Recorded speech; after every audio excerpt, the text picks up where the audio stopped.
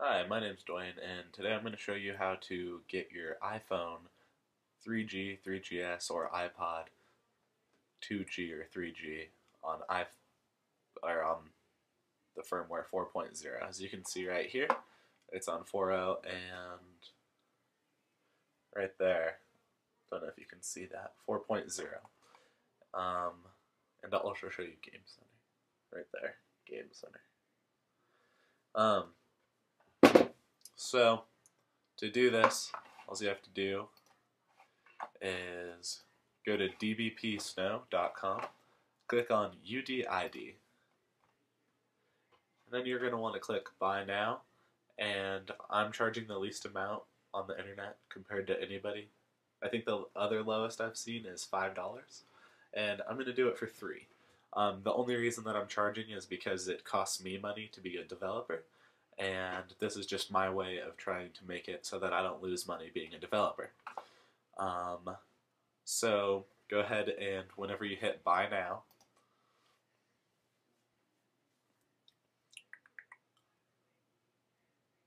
oh yeah, by the way, as you can see,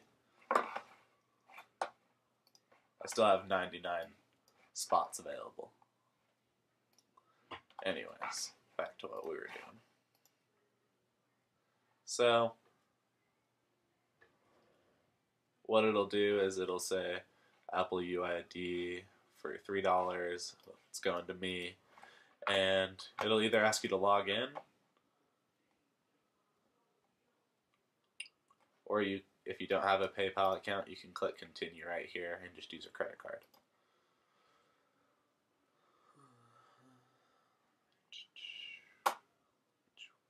Anyways, whenever you fill this all out, you're going to want to copy and paste your UDID into the special instructions right after you hit review and continue. And to do that, you just click on your serial number and then copy and paste this identifier. The UDID is what it is for short. And it's 40 digits. And copy and paste that to me, and then I'll register you. And then you can activate your iPhone. And so, taking a couple steps back, you're going to go to imodzone.net forward slash download, link in the underbar, and you're just going to click on whichever one you have. So, like right here, it says iPhone Beta 4, which is the newest one as of right now. So, if you have the iPhone 3GS or the 3G, you just download that ISPW and so after you do that, you're going to hold Option or Alt. It's right next to the Command button and next to the Control button. That guy right there. And then hit Restore. And then find your beta, your ISP, hit Choose. And then it's going to try to contact Apple. And if you haven't done the UDID, then it's not going to work correctly. Um, so yeah. Alright, also, um, I'm to have a contest where I give away five UDID accounts. Um, so, yeah. All I need you to do is like the video, subscribe, and put a comment that says UDID contest.